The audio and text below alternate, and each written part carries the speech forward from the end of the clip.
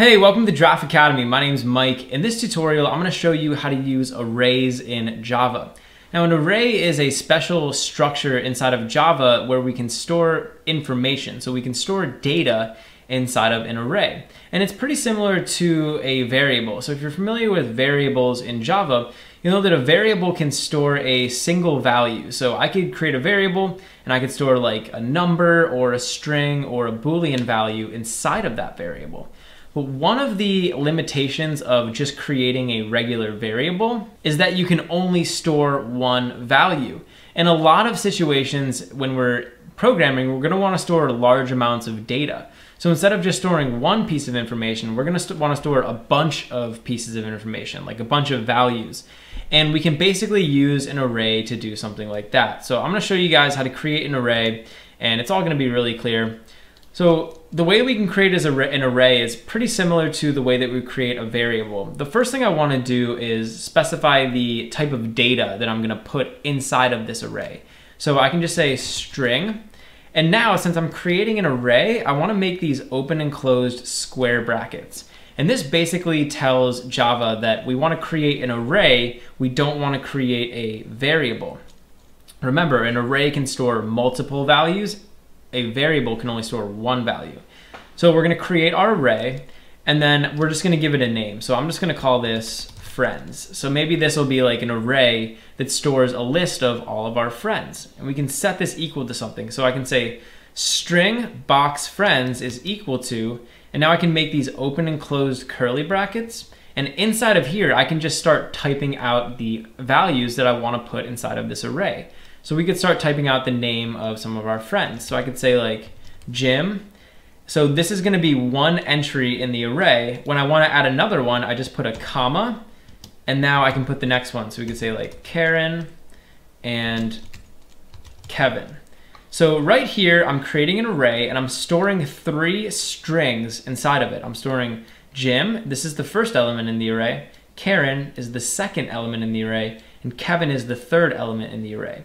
So we basically have a variable, except we're storing a bunch of different values. So inside of this one friends array, we can have three different values. And really, you can put as many values inside of an array as you want. That's what they're for. They're meant to hold large amounts of information. So the question becomes, now that we've stored this data, how can we access it? In other words, let's say I want to access one of these individual values inside of my array. Well, I'm going to come down here into this print line statement and I'll show you how we can access one of these values. If I just type out friends like this and I try to print it out to the screen, you'll notice over here that we get this like crazy string. Basically, this is just saying that we have an array of strings. That doesn't really help us. I want to access the individual elements. So I can use a special syntax. I can make an open and closed square brackets after the name of the array. So again, I'm typing out the name of the array and then open and close square brackets. Inside of these square brackets, I can just say the index of the element that I want to access in the array. So if I want to access the first element in the array, this string with Jim inside of it, I can put a zero here. Now, the way that arrays index the content is they start counting at zero. So we would say that this Jim string is actually at index position zero. So this would be at position zero. This Karen string would be at position one, and this Kevin string would be at position two. So if I wanna access this string inside of this array, I have to put a zero in here because the array starts indexing at zero, not one. So if I type friend zero there, this should print out that first element in our array. You can see that it does. If I type a one in here, now we'll print out Karen. And if I type a two in here, we'll print out Kevin. So you can access individual attributes inside of this array by referring to their index inside of the array. And that can be really helpful.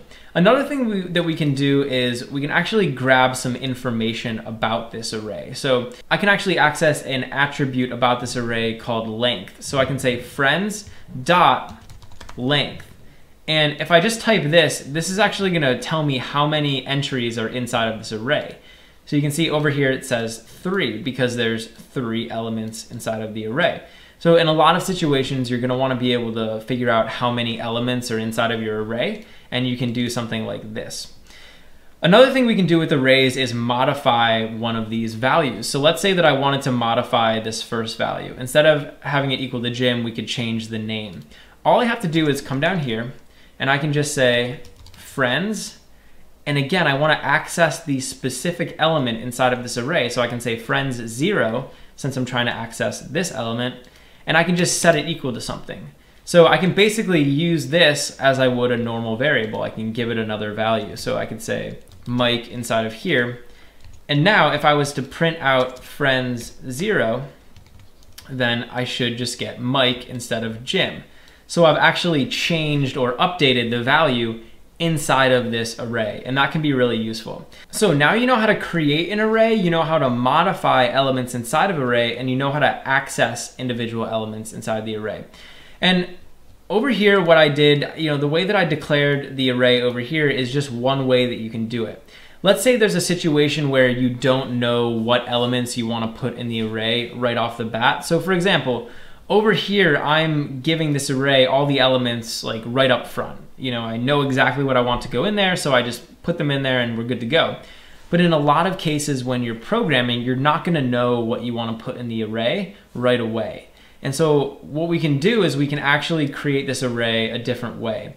So I can say string friends, and I can just set this equal to new string, and then I wanna type these open and close square brackets. Inside of these square brackets, I need to tell Java how many elements I want to put inside of this array. So for example, when we had that list of friends, we had three elements inside of it. So I'm just going to put three over here.